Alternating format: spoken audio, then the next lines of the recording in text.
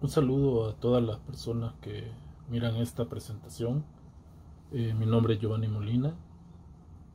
Trabajo para el Ministerio de Medio Ambiente y Recursos Naturales de El Salvador como gerente de geoestadística para la gestión de riesgo y cambio climático y atendiendo un llamado de CEPAL para colaborar en la elaboración de estos videos eh, educativos para el tema de indicadores y estadísticas ambientales. Yo les voy a hablar un poco de la parte geoespacial, del uso de información geoespacial para la construcción de series de tiempo e indicadores que van orientados para la gestión de riesgo y cambio climático. Y la, les voy a hablar un poquito de dónde pueden encontrar información global y también algunos ejemplos que hemos desarrollado en El Salvador. Vamos a la presentación. Como les decía en la introducción, vamos a hablar un poco de información espacial para el cambio climático y la gestión de riesgo. Eh, estas primeras diapositivas que están relacionadas con el desafío del cambio climático y la gestión de riesgo para América Latina y el Caribe, solo para darles una idea de, cómo está. ¿Por qué nos preocupa el cambio climático? Eh, Quizás de esto pues ustedes pueden encontrar en el sitio web de CEPAL mucha información que ellos han construido alrededor de este tema, pero quisiera señalar digamos estos tres aspectos. ¿no? El primero de ellos que el clima de América Latina ya está cambiando, se están sintiendo estos impactos y hemos tenido ejemplos innumerables de esto, sobre todo en el Caribe, América Central, los problemas que hemos tenido recientemente con los incendios forestales en toda la Amazonía, etc. Eh, segundo, el agravamiento del cambio climático, que es inevitable para las próximas décadas. Si seguimos con el business as usual, con, eh, con haciendo lo que hemos estado haciendo por tradición, pues obviamente que esto, el agravamiento será peor. El cambio climático plantea desafíos para el crecimiento y desarrollo en América Latina. Y desafíos grandes, ¿no? el incremento de la pobreza será sustancial en los próximos meses debido al tema de la pandemia y con el agravamiento ahora de los efectos de los eventos extremos que son producidos por el cambio climático. Tenemos algunos impactos actuales y estos riesgos que ya los estamos experimentando en nuestra región. En el tema de agricultura, por ejemplo, que hay disminución de los productos y calidad de los alimentos. Tenemos ahí hay diferentes factores climáticos que se ven relacionados con el tema de agua. La disponibilidad es cada día peor o, es menos esta disponibilidad, ya lo, ya lo veremos. La biodiversidad, hay impactos en biodiversidad y bosques, en salud, en turismo y, y obviamente todo esto en la generación de la pobreza. ¿no? En el tema de salud podemos ver que esta pandemia, aunque no está demostrado que hay alguna relación del cambio climático con este tipo de, de pandemias, pero bueno, hay por ahí un par de artículos que mencionan que sí, efectivamente se puede establecer una, relación. El reto hídrico tiene que ver, digamos, con cómo nosotros manejamos el recurso hídrico en América Latina y los impactos que ya estamos sufriendo. Si ustedes ven en esta gráfica, El Salvador es de los países que se ve mayormente impactado ¿no? por la disponibilidad que tenemos con el recurso. A pesar de la gran cantidad de agua que, que llueve en el año, El Salvador tiene un promedio casi de 2.000 milímetros al año, pero como vemos lo perdemos ¿no? este, eh, por diferentes factores. En el índice de vulnerabilidad al cambio climático en el 2014, que se mencionaba todos los países de América Latina, El Salvador aparece en la tercera posición, con una categoría de riesgo extrema. O sea, es decir, los efectos ya son eh, devastadores en nuestra región. Bueno, veamos eh, cómo se está usando la información espacial en la generación de series de datos.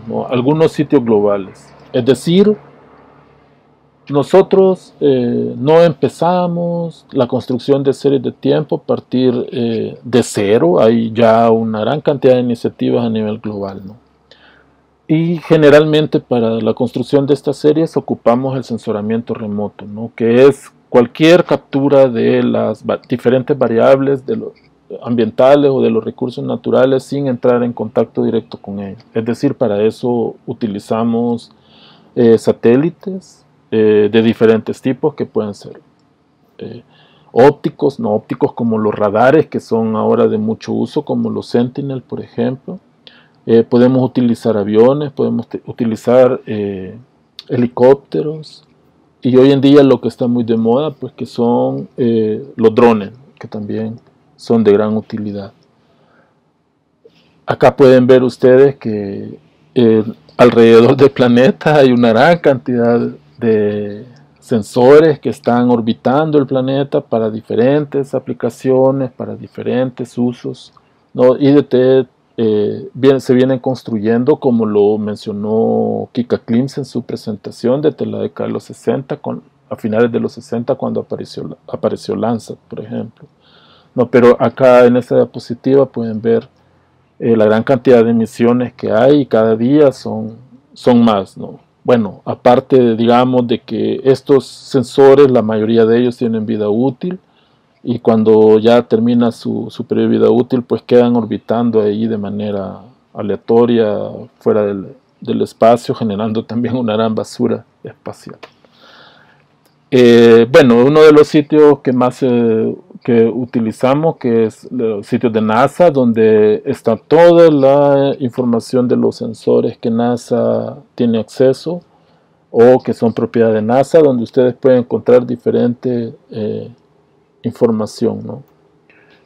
También hay información disponible en otras plataformas como Amazon Web Services también, por ejemplo. Hoy que está muy de moda también Google Earth Engine Pueden encontrar muchas aplicaciones que se están desarrollando con, eh, Google Earth Engine, por ejemplo, eh, el monitoreo de los bosques que hacen en diferentes plataformas. muchos países estamos adoptando, por ejemplo, aplicaciones desarrolladas en Google Earth Engine para el monitoreo de cambios de uso de suelo y la pérdida de bosque, general, enfocado generalmente para la pérdida de bosque.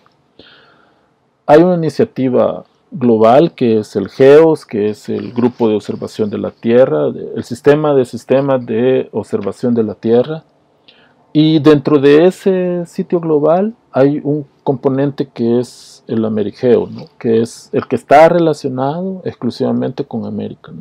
Hay varias iniciativas alrededor de eso para diferentes temas, agua, bosque, salud, agricultura, eh, comunidades indígenas, obviamente, hay diferentes aplicaciones que generan diferente información que ustedes pueden acceder también eh, a través de el compartimiento que se hace en estos sitios.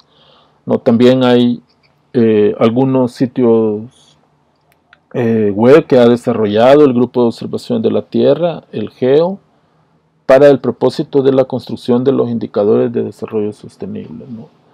Hay otro sitio también que es del Global Partnership, que es eh, Data for SDGs, que son datos para la construcción de los, eh, del cumplimiento de, de, los objetivos de desarrollo sostenible. Allí les dejo los links, ustedes los pueden acceder para poder ver la información que ya está disponible. Bien, veamos algunas aplicaciones a nivel nacional que hemos desarrollado en, El Salvador que me gustaría compartirlo con ustedes. La primera de ellas que es una aplicación que nosotros hemos utilizado en años anteriores, que es levantamiento de información LIDAR.